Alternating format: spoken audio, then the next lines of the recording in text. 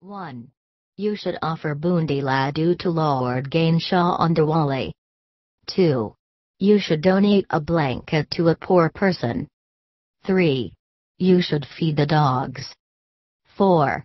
If you are facing obstacles in your life, make a paste of yellow sandalwood and rose water, take a lotus stem and write the following mantra on a banana leaf with it. Om Bring Brihaspati Nama. 5. To free yourself from debt, smear vermilion on Ishwatarka Ganesh and then put silver foil on it. After this, offer your prayers by following the Panchopachar Puja rituals.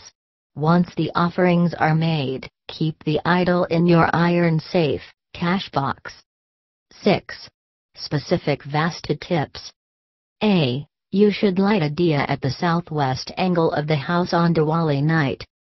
B. Red walls in the puja room or meditation place are extremely auspicious for you.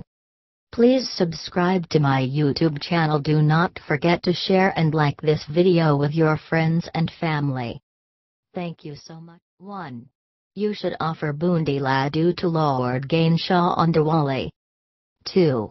You should donate a blanket to a poor person. 3. You should feed the dogs. 4.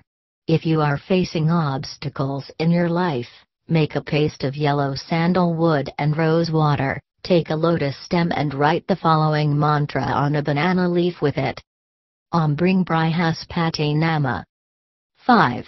To free yourself from debt, smear vermilion on Ishwatarka Ganesh and then put silver foil on it.